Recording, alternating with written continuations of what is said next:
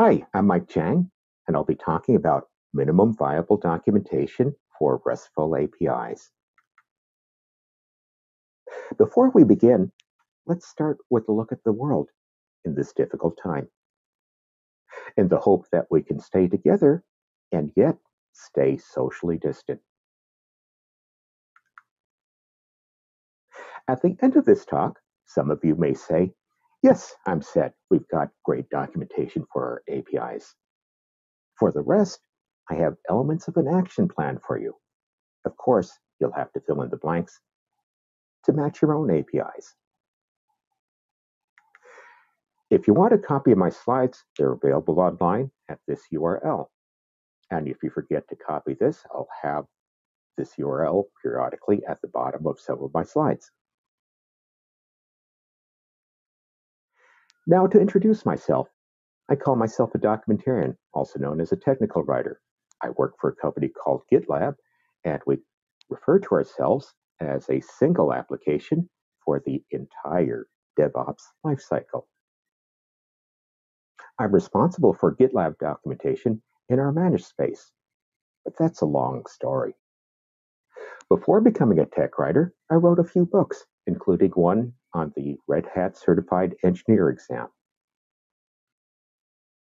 I also help with meetups for the Write the Docs organization. We have nearly 50 meetups worldwide, but for now, we're all virtual. At this point, if I were speaking to a live audience, I'd ask you to stand up when I called out your job function but this is a virtual talk. So let me just say that I, am always surprised at the number of developers who attend the talk, and I'm pleased with the interest. So what is this minimum viable documentation? MVD for short. Well, James Higginbotham has a template for something similar. He calls it a minimum viable portal. And I think it's a great starting point. But to me, it's just that, as MVD is more than just a bunch of endpoints. It's more than just reading code. Your RESTful API docs, even your GraphQL docs, really your docs as a whole, need to provide a excellent developer experience. So the spoiler here is that what we're talking about is all about the developer experience, DX for short. And Kristof Van Tomme, the guy behind API the Docs, presented a slide a few years back that describes how developer experience is an inverse function of API friction. And the friction you put in your APIs includes any problems that you might have in your documentation.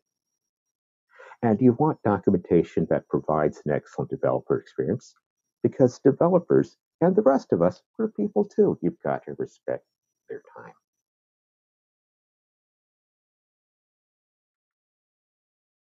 A lot of people will ask, especially coders, they'll ask, why do you even bother with documentation? In this age of literal code, all you have to do is just read the code and the meaning of what's being done is apparent. So they'll say that code, it's self-documenting. Well, I'm going to make an analogy here. Here's my example of self-documenting code. It's human DNA. To me, it's self-documenting in the same way. And in fact, in some ways, it's simpler. It only has four nucleotides. And I won't try to pronounce these, but you can combine them in such complex ways to create, uh, plainly, to create us and the complexities of those nucleotides uh, take so much time to document, they've tried to set things up in something called the Human Genome Project. While I can't pretend that RESTful APIs are as complex as human genes, I can make an analogy here as there are four nucleotides, there are four REST commands, create, read, update, and delete. And in a similar fashion, we set these up as endpoints using the specification known as the Open API Initiative. And there are a lot of people out there who've used the Open API spec to create what seems like a world of endpoints. And this is great as a starting point. Thank you, Open API Initiative. It feels like we're covering the world with endpoints. But there might be a problem with this. When you look at it closely, you think, oh my God, there are walls of text. I'm fortunate to speak to audiences with a lot of brains. I bet a lot of you know more than one language. When I first learned French, one thing I picked up was a dictionary. But seriously, if my teacher told me, Mike, all you need to do to learn a language is learn the dictionary, I would have walked out. In the same fashion, if all you do with your readers is present endpoints, being a little blunt, I think they should walk out too. What you need is to present practical experience, to give them practical situations, use cases, if you will. Nevertheless, the endpoints and the dictionary, they're fundamental. They provide a foundation for learning. But what do you need to add to the foundation? How do we get to this concept called minimal viable documentation?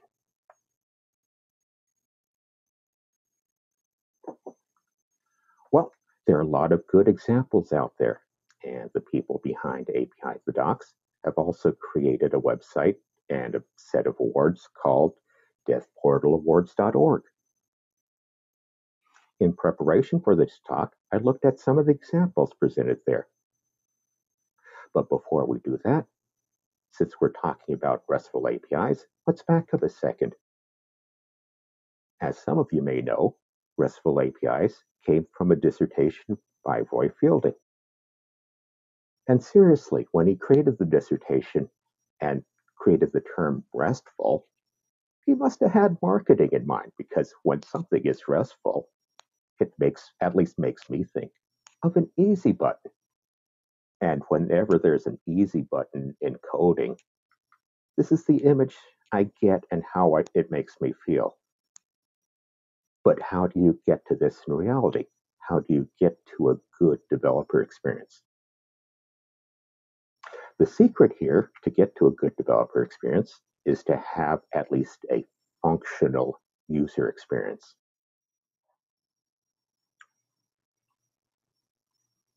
And for that, you need documentation. Is this the kind of documentation you want? Well, you look at this wall of text, and I'm going to rely on The Onion, which is a US humor magazine, for the response. I mean, seriously, you want text that actually provides a good experience. Because today, we write for people who don't read. You think about that, and it doesn't make a lot of sense until you understand the background behind that, the spoiler. People don't read documentation, they scan docs. So, how do you help your readers scan your content? It's time to step back and cover a couple of tenets of technical writing when you create a page of documentation, you want to focus key information in your first two paragraphs.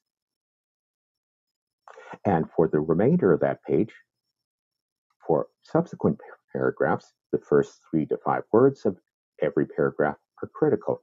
That'll tell the reader, oh, yeah, I'm interested in that too. So, how do you walk in the shoes of your readers? typically developers.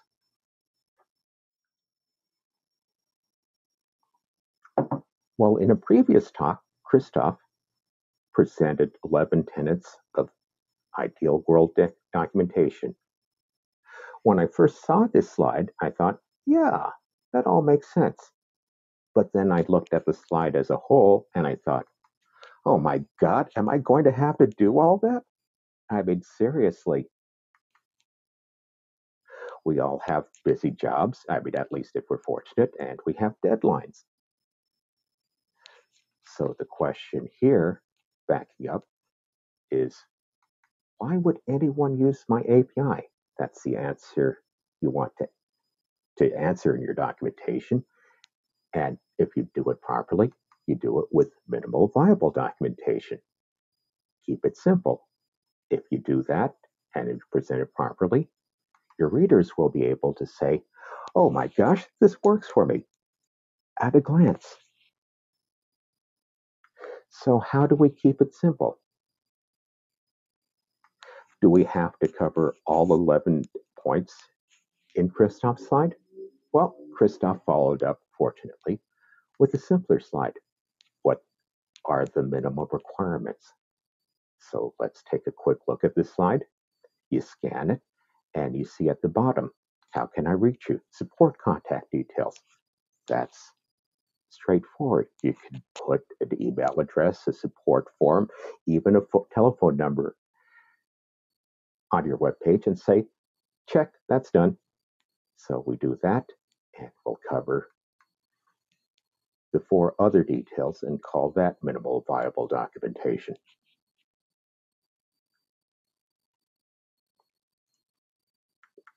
So starting with a landing page. Now that the world is in the middle of a quarantine, I guess I could say many of us used to fly to conferences like this. Oh, how things have changed.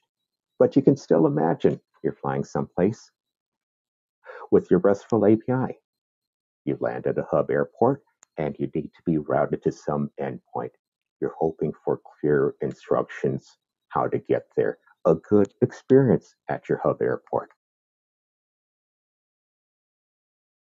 In a few cases, you may need to go through another hub, and that's okay, but how do you get to that good experience?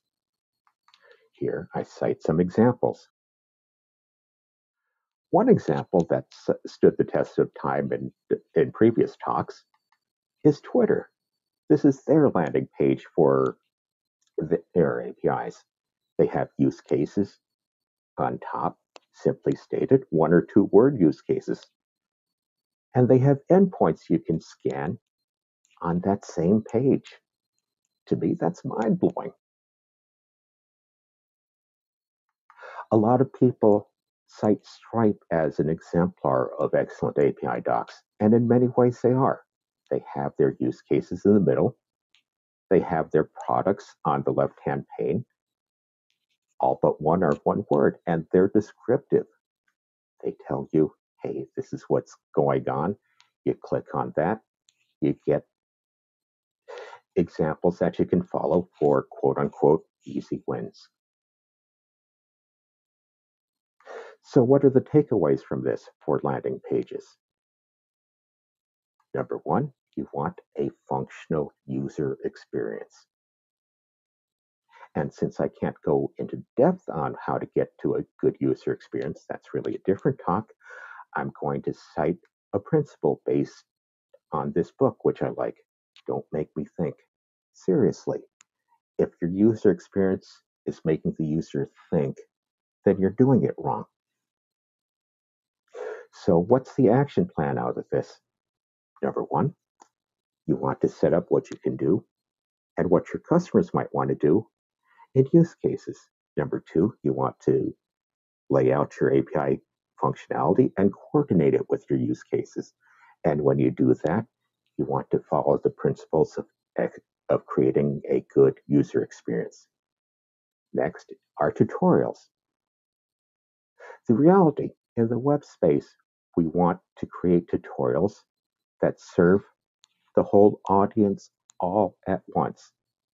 If we can deliver our training once and it serves everybody, we think, yay, this is great.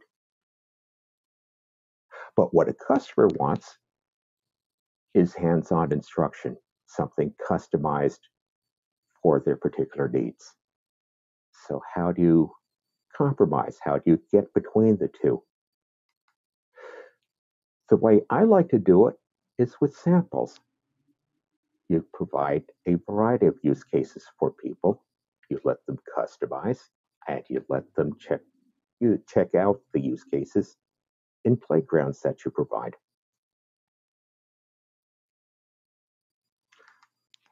For me, use cases are like going to a buffet.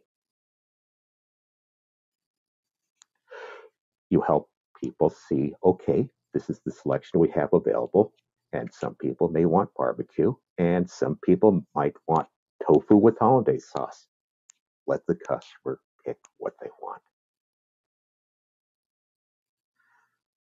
So, what are some examples of how people present use cases? The Orange developer site a couple of years ago, they had straightforward depictions of use cases based on single words. Quote unquote, they've improved the site with more detail. I personally agree with pardon me, I personally disagree with this movement towards more detail, but everybody is entitled to their opinion on this. Another example, the Nexmo developer site. They have use cases that seem scattershot, but the principle is let's serve people up a buffet and let people pick and choose what they need. And that's great. And once people pick and choose, they can customize. They can salt to taste, salting to taste by providing their own URLs, their own access tokens. And they have, once they do that, they have use cases that meet their needs. So how do you do that? You may want to provide your own test playground, but there are also excellent third-party test playgrounds available. And the convenience associated with test playgrounds is that they enable customization. They allow you to set a, for example, set a variable for a customer URL and let that variable flow through your API. And then your customer will be happy and say, hey, this API actually works for me. When you have a test playground, you're also integrating your foundation, your dictionary, your API endpoints. And when you do that, you're enhancing your developer experience. So what are the takeaways from this? What do you want? Tutorials that reflect what happens in the real world. You want to be able to let your customers customize what you provide. And you want to provide test playgrounds so customers can see for themselves hey, this works for me. So, how do you get there? You provide use cases as a story. You let people insert their URLs in whatever samples you provide. And I've covered discussions of custom playgrounds.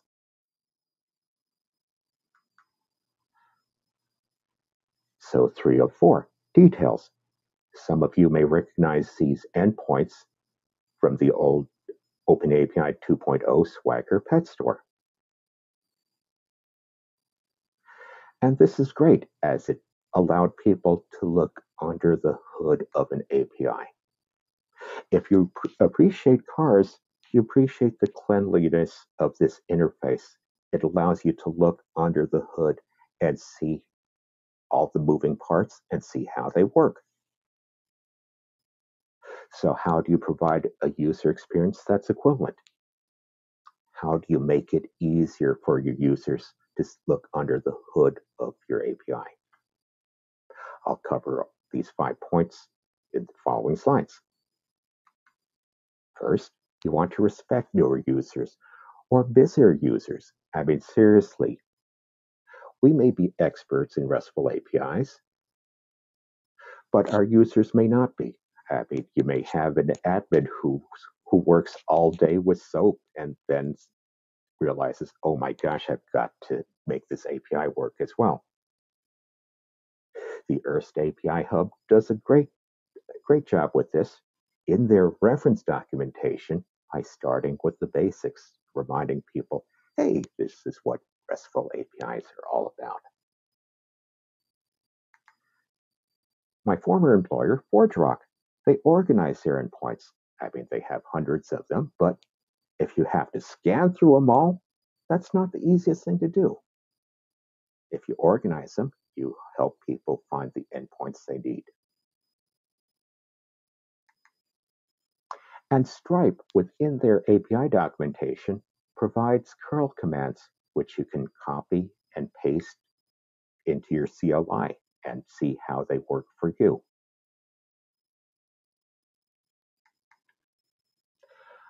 We have another example of a demo environment. Uh, this is from Adyen. I hope I'm pronouncing that right. I have here a payments endpoint.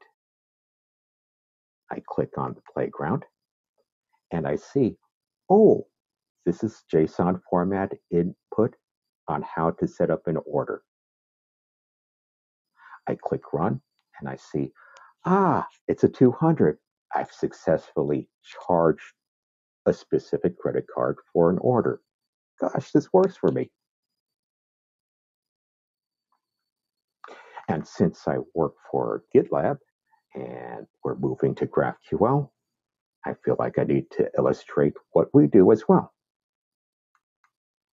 We have a GraphQL Explorer for which I've set up a specific issue that describes the work that we do. I click play and I find information about the issue.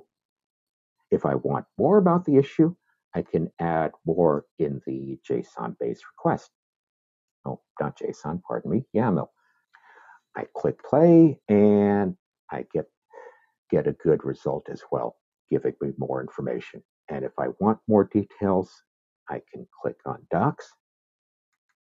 And this gives me more information about each of the properties they're in. And once I get something working, I feel like I've gone to the casino and hit a minor jackpot. And this is the feeling you want your readers to get. In other words, if you give people a good user experience, you bring them to a good developer experience. So what are the takeaways from this section?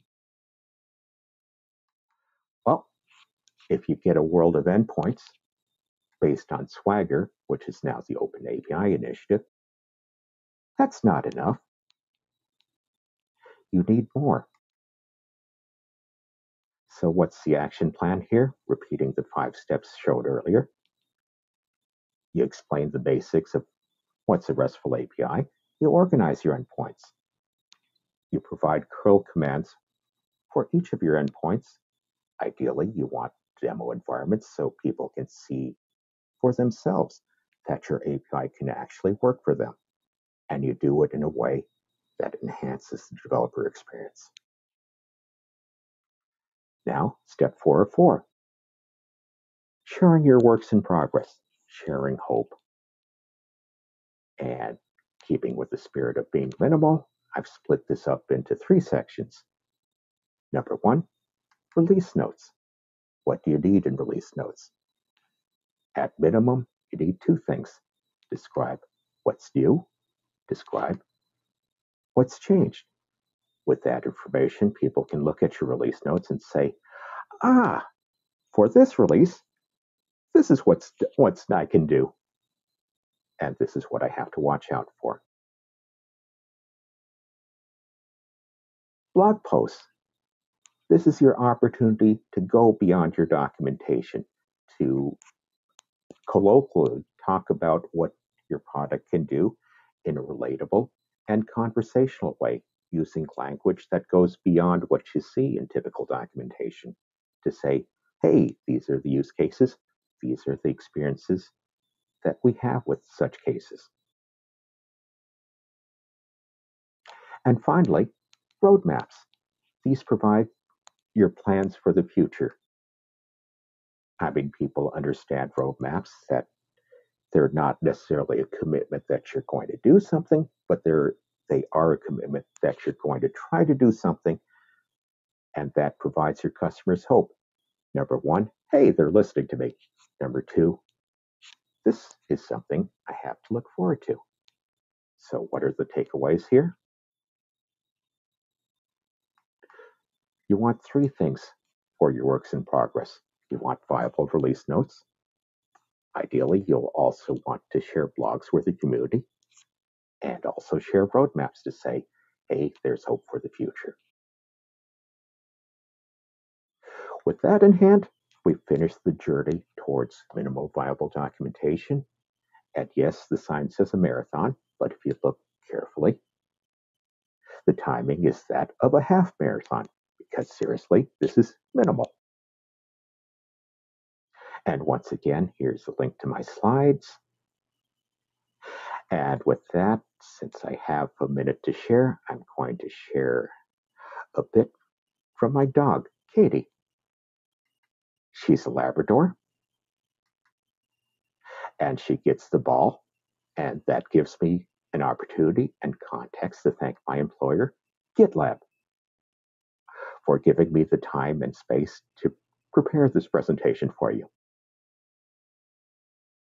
Thanks very much.